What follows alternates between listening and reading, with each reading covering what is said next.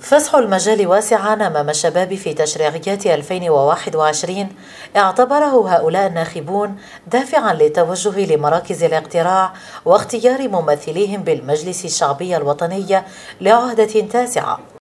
أول خطرة اللي نفوتي شفنا فيها تغيير شفنا فيها تغيير شفنا فيها بني كاين شباب بزاف اللي راهم مترشحين الانتخابات.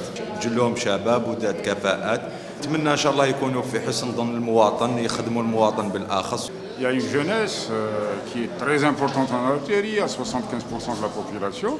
Il faut que cette jeunesse prenne le, le, le, ses, ses responsabilités. الحديث عن التغيير يعتبره البعض انه يبدا من الصندوق بالتصويت على مترشح كفؤ ومخلص لمصالح المواطن ناهيك عن حفظ الاصوات من اي تلاعبات بكري مال فين يديروا نتا ليس يديروا التصويره هذاك هو دوك لا لا عندك ليس وانت تخيري.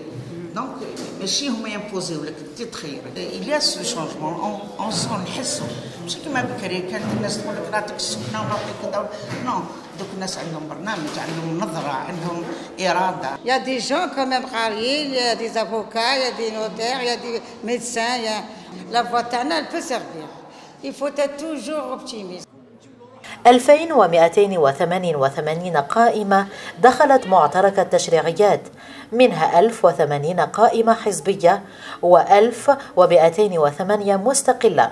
نسبة معتبرة من الشباب يتنافسون على مقاعد الغرفة السفلى للبرلمان. صندوق الاقتراع هو الفاصل بينهم.